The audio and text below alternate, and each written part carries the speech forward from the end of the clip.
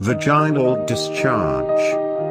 Normally, vaginal discharge is clear and white but it may become stretchy and slippery in ovulation period two weeks after your menstrual period. A change in the color or amount of discharge may indicate that you have an infection.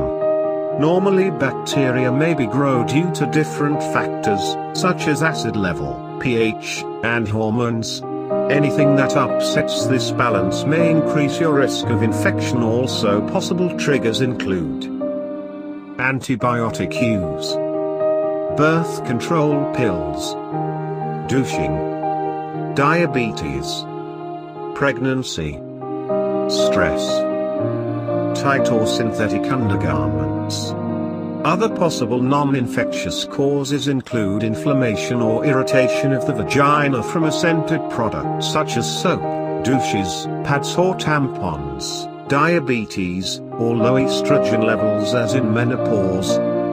Symptoms You may notice a change in the color, amount or odor of discharge. A white, curd-like discharge that looks like cottage cheese is a classic sign of yeast infection. Yellow, green or gray discharge is usually a sign of trichomonas or bacterial vaginosis.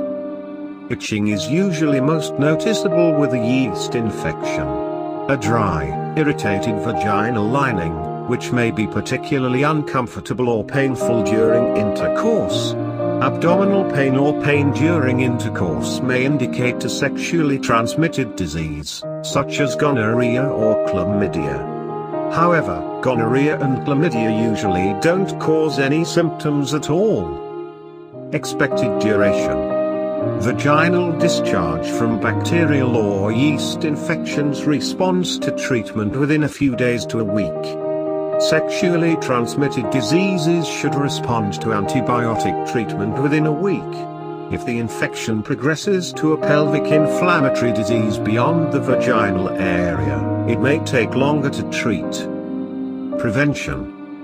Your doctor can work with you to identify whatever led to your symptoms, such as antibiotic use, wearing non-cotton underwear, wearing tight-fitting undergarments during exercise, using scented products that irritate the vaginal lining, or using birth control pills.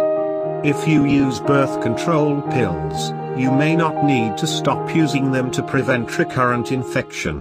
Advisory The information on website, YouTube, Facebook has not been evaluated by the Food and Drug Administration or any other medical body. We do not aim to diagnose, treat, cure or prevent any illness or disease. Information is shared for educational purposes only. If you like this video please share it and subscribe the channel Divya Sanjeevani Yoga.